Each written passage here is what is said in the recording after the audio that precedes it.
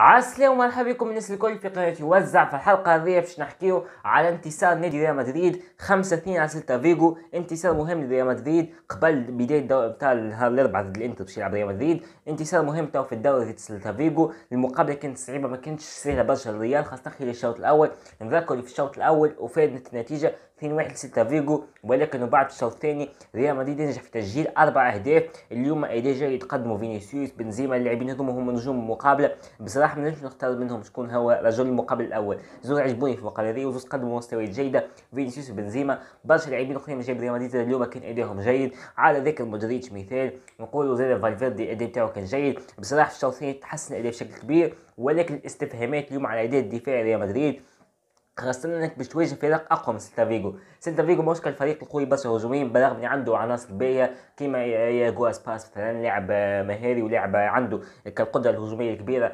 باش يسجل أهداف ولأنه ما سجلش هدف اليوم ولكنه قدم مستويات جيدة، ما نجم نقول لك اللي سيلتا فيجو مش كالفريق قوي بس هجوميا، الريال لازم يصلح شوية الدفاع نتاعو خاصة أنه قادم على المواجهات قوية في ال Champions League خاصة. ونسيو شد مقابلات البطولة باش تكون صعيبة للريال إذا كانت تواصل المشاكل الدفاعية هذيا باش تكون مشكلة لريال مدريد باش أنه يحقق اللقب هذا الموسم. ولكن اليوم كما ريتو كما قلت لكم الأداء الهجومي كان ممتاز. الأداء الهجومي هو اللي يشفع ريال مدريد. الأداء الدفاعي الأداء الدفاعي كان سيء. ما نغطيوش عين شمس بالغربال صحيح 5 2 انتصار مهم جدا وانتصار كبير معناها 5 2 ولكن بعض المشاكل الدفاعية لازمها تتصلح وخاصة ضد الإنتر. معناها مقابلة صعيبة ضد الإنتر في السان سيرو لازمها تصلح المشاكل هذيا قبل مقابلة الإنتر. اليوم في المقابلة هذه الحاجة الملفتة تألق اللاعب فينيسيوس. تألق بنزيما هذاك متعودين عليه في مقابلة السابقه ولكن فينيسيوس كان بصراحة تجيه برشا انتقادات خاصة الموسم الماضي من جماهير ريال مدريد. ولكن الموسم هذا بدأ بداية كبيرة. فينيسيوس في ضد ليفانتي سجل هدفين واليوم سجل هدف ويجيب ضربة جزاء. معناه اللاعب هذا قاعد يعمل في بداية كبيرة في الليغا الموسم هذايا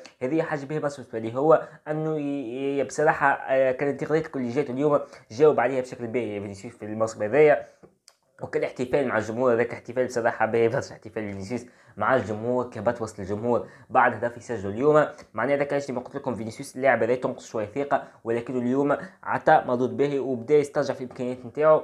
ديما نقول لكم أنا قبل حتى قبل حتى عام وقت اللي فينيسيوس كان كلاعب الكارثي وضيع برشا كرات قدام. المرمى ديما نقول لكم الموهبه موجوده الموهبه موجوده لهذا اللاعب ولكن اللاعب هذا تنقصه شوية كالخبرة في اتخاذ القرار. ديما عنده شوية مشاكل في اتخاذ القرار. مرات يجي قدام الجول يقول زعما نسدد زعما نعطي تمريرة. معناها مرات ديما يرتبك قدام المرمى وما يعرفش يعطي تمريرة أو يسدد أو مرات يراوغ أو ما يراوغش. معناها ساعات تكون الفرصة لازم لازم يسددها. هو يعطي passe قبل أو مرات تجي مراوغه لازم تعمل المراوغة ما يعملهاش. وقت اللي ما يلزمش تعمل يعملها هذيك الفازات اللي كانت معنا قبل.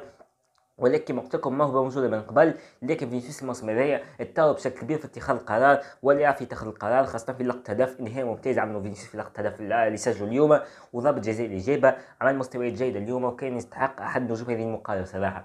بالنسبة لسيلتا فيجو اليوم خلينا نحكيو شوية على سيلتا فيجو. سيلتا فيجو بصراحة فريق ممتاز من الناحيه الهجومية اليوم. ما كانش كالفريق اللي جاي يدافع فقط اليوم. بالعكس الفريق هو كان يقدم هجوميا اليوم وقلق شوية دفاع ريال مدريد. ولاحظنا بعض المشاكل في قلوب الدفاع وخاصة الظهير الأيسر اليوم ميغيل من جاب ريال مدريد. من الناحيه الدفاعية من الناحيه الهجومية اليوم عمل centrage لبنزيما وبنزيما كان حط كرة في الشباك. ما نساوش ميغيل عمل assist هدف ولكن من جهة أخرى ميغيل كان سيء دفاعيا وكان هو المتسبب المباشر في الهدف الأول اللي سجله سيلتا فيجو في وقت مبكر. معناه هنا نقول لكم معناه ميغيل ناقصه خبره بصراحه نتاع قله خبرة اللاعب هذايا لاعب عمره 20 سنة لاعب ماهوش متعود يشارك في مقابلات تاع ريال مدريد مازال يخطو في أول خطواته مع النادي الملكي معناها أخطاء بدائية قام بها اليوم خاصه خلال لقطه الهدف الأول. لازم تتصلح من جانب هذا اللاعب. نعرفوا ريال مدريد ما عندوش كالمعوض الكبير نتاع مندي معناها مندي هو ظهير أيسر الاساسي لريال مدريد. وشوي الابا مرات نشوفوا مرات الابا مرات مندي ما نعرفوش مازال ما نعرفوش التشكيل الثالث نتاع انشيلوتي تو هل سيعتمد على الابا كظهير ايسر ام هو قلب دفاع كي يرجع الابا من الإصابة ومندي زاد كيف كيف يرجع من الإصابة؟ هل سيعتمد على مندي كظهير ايسر كل هذه تبقى مجهولة. ما دام مازال ما رجعش مندي والابا من الإصابة. ما نعرفوش التشكيل الثابت اللي يعتمد عليه المدرب أنشيلوتي ثالث هذا الموسم. إذا نحكيو على تشكيل نزل به المدرب أنشيلوتي في هذه المقابلة واللي كان اليوم في شكل 4 3 3 بالاعتماد على كورتوا كحارس مرمى كقلبي دفاع نلقاو ميليتاو وناتشو على اليمين نلقاو وجود لاعب كارفاخال على اليسار. نلقاو ميغيل اليوم في وسط الميدان كازيميرو ومودريتش. عودة مودريتش من الاصابه وهذا مهم برشا اليوم. وقدم مستوى جيد اللاعب مودريتش.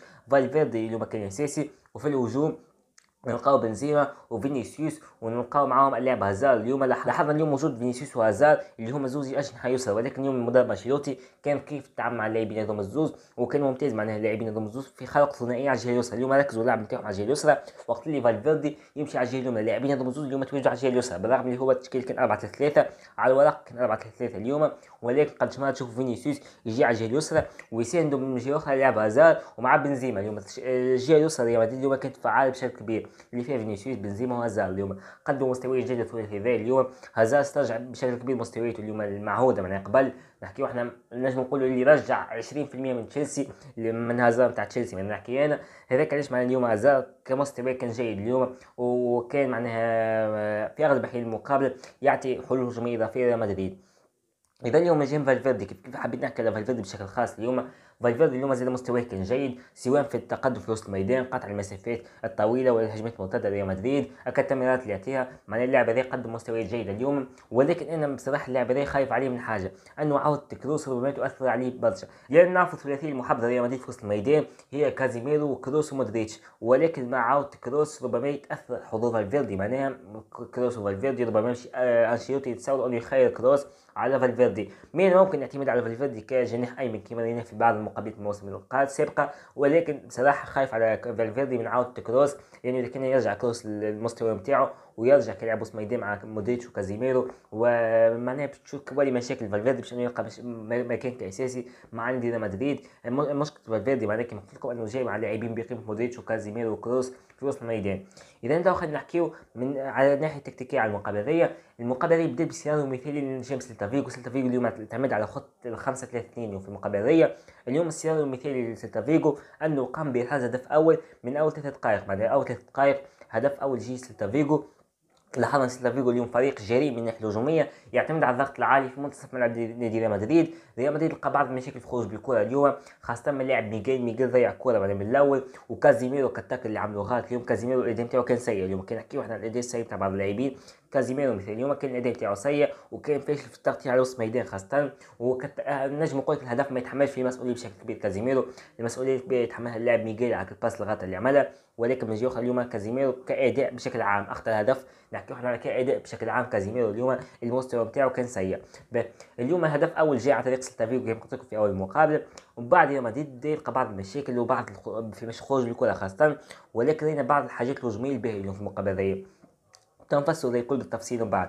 حكينا إحنا على ريال مدريد كيفاش ينتقل من الدفاع للهجوم نحكيو ريال مدريد ينجح في الوصول للهجوم في بعض الأحيان معناها ريال مدريد ما كانش كان مشكلة كبيرة باش يخرج بالكرة من الدفاع للهجوم صحيح سيلتا فيغو مناطق الضغط اللي عالية على الهيئة نتاعو يبعث شوية حسابات نادي الملكي ولكن في بعض الأحيان ريال مدريد ينجح في الخروج بالكرة وخلي سيلتا فيغو يتراجع للدفاع ويشكل خطة 4 4 2 الناحيه الدفاعيه سيلتا فيغو كان يتراجع للدفاع كان يلعب خطة 4 4 2 سيلتا فيغو كي كان يتراجع للدفاع يلعب خطه 4 4 2 إذا هنا هنا ريال مدريد وقت لاحظنا عملية هجومية ممتازة يبني فيها اليوم في هذه سواء من ثنائية فينيسيوس وهازار كما حكيت لكم على الجهه اليسرى اليوم. لاحظنا ديما هازار لاعب متحرر اليوم متحرر على الجهه اليسرى معناها هازار متحرر برشا من الجهه اليسرى اليوم هازار تويت برشا في وسط الميدان وبين الخطوط. هذه الحاجة الباهية هذه الحاجة استديتها من زيدان عمناول الاشكال في زيدان عمناول أنه ما يعتمدش على اللاعب هازار باش يخليه حر. هازار ديما تلقاه الشاد الجهه اليسرى معناها ماهوش اللاعب متحرر يدخل وسط ميدان يعمل المراوغات نتاعو يعطي تمريرات هذه هي قوة هازار في تشيلسي قبل. ولكن مع زيدان زيدان ديما يطلب منه تعليمات واضحة أنه يكون على الجهة اليسرى. معناه اللاعب هذا ديما يكون على الجهة اليسرى ما يقدمش مستويات جيدة. اللاعب هازار وماهوش اللاعب ينجم يراوغ في الجهة اليسرى كاملة وما عندوش سرعه معناه الجهة اليسرى هذيك المكان هذاك اللي يلعب فيه اللاعب هازار يلزمو لاعب عنده السرعة. هذا مش لاعب عنده سرعة بشكل كبير لاعب مراوغ لاعب عنده كتمريرات ممتازة. خليه ياخذ وسط ميدان خليه خليه له حريه يعني هذا اللي حكيته إحنا. خليه له حريه ما تخليوش لاصق على اليسار خليه له حريه يدخل وسط ميدان يعني التمريرات هذا اللي اليوم أنشيلوتي اللي عملوا في هذه المقابله خلى هازار حر على الجهه اليسرى يدخل وسط ميدان يعمل كما يحب يعني في وسط الميدان لعب هازار فينيسيوس على الجهه اليسرى بما أنه فينيسيوس عنده السرعه وينجم يستقبل تمريرات من بنزيما أو اللاعب هازار وبنزيما وهازار نعرفوا بنزيما ديما الدور بتاعه الكبير يقوم به في التمريرات والعودة وخارج الصندوق التمريرات اللي عملها. هذا الكل اليوم جاي ريال مدريد. كان المستوى جيد خاصة معناه بالرغم من انه ريال مدريد في الشوط الأول ما كانش كان ريال مدريد قوي برشا. ولكن في الشوط الأول كيف كيف الأداء كان جيد اليوم. ما كان سيء برشا اليوم الأداء من جانب ريال مدريد. فالفيردي اليوم كان خارج اليمنى بشكل كبير. لأنه بما أنه كما قلت لكم هازار كان على الجهه اليسرى اليوم. فالفيردي خارج الجهه اليمنى اليوم في المقابلة هذيا ومودريتش كان يعمل دور كبير في توزيع اللعب على اليمين وعلى اليسار. ريال مدريد كان يتقدم تدريجيا يعتمد على شوية توزيعات مرات عن طريق لعب كارفاخال أو اللعب ميغيل من غاديك ميغيل من الناحيه الهجوميه ما كان سيء وكان عمل assist في الشوط الثاني ولكن حكينا عن الناحية الدفاعية تاعو كان سيء اليوم. هذاك على الشوط الأول كما قلت لكم ريال مدريد ما كان سيء في بدرجه كبيرة بالرغم من هو خرج خاسر 2-1 ولكن الشوط الأول ما كان سيء من الناحيه الهجومية ولكن من الناحيه الدفاعية كان الاداء سيء. وأنا ديما نقول لكم أنا قاعدة من ديما نقولها لكم أنه فريق كيبدأ يلعب الهجوم ويبدأ يعمل في فرص هجومية. ما تخافش عليه. الدفاع تاعو يتصلح من ريال مدريد ولكن كيبدأ فريق عامل الهجوم باهي ويعمل في عملية هجومية فريق ما تخافش عليه. اليوم رينا من ريال مدريد فريق قادر على العطاء الهجومي كان يعمل يخلق فرص معناها وكتوزيعات واللعب الهجومي الكبير من جانب ريال مدريد. اذا اليوم نحكيو على الشوط الثاني نحكيو على الشوط الثاني وين تحولت المقابلة بشكل كبير. الشوط الأول 2 واحد هدف من جانب ريال مدريد جاء عن طريق اللاعب بنزيما. ومن بعد رينا هدف آه ثاني جاء عن طريق آه نادي سيلتا فيغو. هذه لحظة بعد خلل الدفاع خلينا نحكي على الخلل الدفاعي اللي نافع الهدف الثاني اليوم جاب لسيلتا فيغو. سيلتا فيغو اليوم اللي حطوا فريق عنده كرونس سريع كانتقال من الدفاع للهجوم transition يعمل بشكل بشكل سريع. سرعة الانتقال من الدفاع للهجوم جانب سيلتا فيغو. وقت اللي يخسر الكرة ريال مدريد وقت اللي ريال مدريد يخسر الكرة سيلتا فيغو عنده الارتداد الكبير. ولكن الاشكال هنا ميغيل ما رجعش للدفاع وقت اللي يعمل آه، سيلتا فيغو هجمه مرتده وهنا هدف جاء عن طريق الجهة اليمين اللي هي كان الجهه المفروض أن يكون فيها اللاعب ميغيل ولكن ميغيل كان غائب اليوم. خطأ مشترك من ناتشو الأولاني اللي قدم معناه وحب يحصل لاعب أسباس ولكن ما كانش قادر على العملية ذي. وخلى الجهة اليمين vide وخلى وسط ملعب vide معناه ناتشو. ولا ونلاحظوا اللي زاد كيف كيف ميغيل خلى الجهة اليسرى vide بتاعه هو. فتقدم لاعبي سيلتا فيغو كانوا سجلوا الهدف الثاني. وانا لاحظنا بعض المشاكل الدفاعية زي ما تصلح خاصة ضد نادي الإنتر في ال Champions League المقابلة اللي باش تلعب نهار الاربعاء إذا نحكيو إحنا على الشوط الثاني.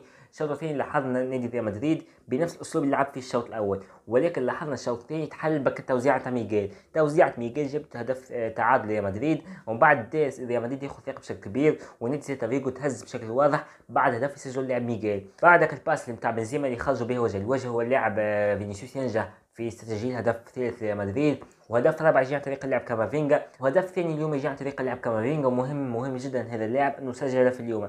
اللاعب كامافينجا ينتدب ريال مدريد في في آخر من نهار من ميركاتو يعني ينتدب هذا اللاعب اللاعب هذا اليوم في أول مقابله مع ريال مدريد. يسجل هدف. شنو؟ فماش أحلى من هذه البداية؟ هدف أول في أول مقابلة مع ريال مدريد نزل كبديل وسجل بعد مرور تقريبا أقل من 10 دقائق على دخول الملعب. بداية جيدة جدا وواعده للاعب كامافينجا ما نقولش هدف رائع جدا يعني هو هدف goal vide ولا في الوسط ولكن مع معنويا هدف ممتاز جدا سجله اللاعب آه، كامافينجا. معنويا نحكي أنا لأنه سجل هدف مع أول مقابلة مع ريال مدريد. حاجة باهية برشا واللاعب هذا مش ينسى الهدف هذا يسجله أول هدف يسجله مع نادي مدريد ومسيرته نحو الاحترافية. اللاعب هذا في مازال عنده مشوار طويل من العطاء مع نادي مدريد إذا وبعد هدف القائمة يجي عن طريق اللاعب بنزيما ضربة جزاء جيبها فينيسيوس فينيسيوس حاجة مش عادية اليوم صراحة فينيسيوس قدم كل شيء مراوغات عملت برشا حاجات اليوم حاجة باهية اليوم وكان هو السبب الرئيسي في فوز ريال مدريد مع بنزيما مع برشا اللاعبين من ريال مدريد كانوا قدموا مستويات رائعة ورائعة جدا. آه، بنزيما يسجل هاتريك اليوم في المقابلة